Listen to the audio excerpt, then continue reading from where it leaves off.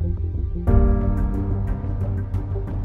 just got to have an enormous amount of confidence in the market, right? And just kind of block out all the all the thoughts of competition and any kind of negativity or rejection or lack of inventory, any any of that stuff. Just block it all out and just focus on your business. You know, it's an incredible industry that's never going to end. Closings are going to continue to happen every day for the rest of our lives. Uh, technology has done nothing but make our lives easier and more efficient and able to communicate with people better. There's no way I could sell 100 properties a year back when I started with the tools I had then, you know, the advances in technology and communication is what has put us in the driver's seat to do more and reach more people and help more people and just build your database. The size of your database is going to dictate the the level of your income. Everything I do step by step to sell 100 properties a year every single year for 5 years straight as a single agent and I haven't lost one single client. I haven't even had a client come to me and say, "Hey, this guy sounds like you," or this guy's sending me a weekly email that looks a lot like yours.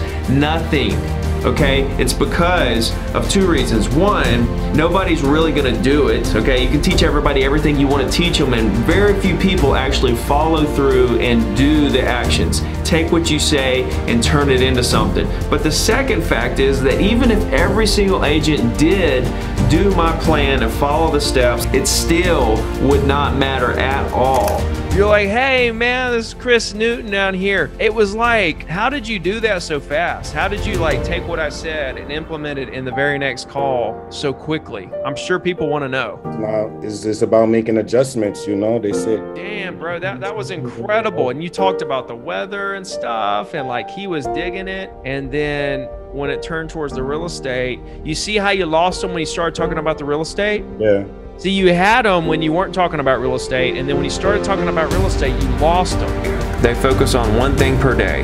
Okay, that's it. One thing. They have one main thing that they have to do every day. And then once they get that done, then everything else is just kind of whatever. It's just a bonus. You know, they don't even like value anything else. They just kind of do other things.